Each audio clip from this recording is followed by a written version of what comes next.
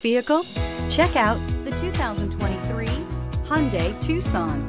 The Hyundai Tucson is Hyundai's first CUV to be designed in Europe.